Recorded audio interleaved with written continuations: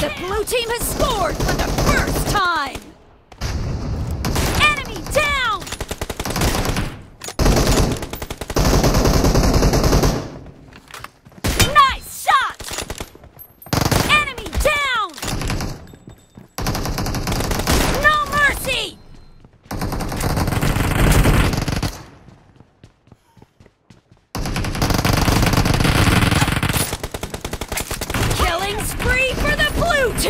Watch out!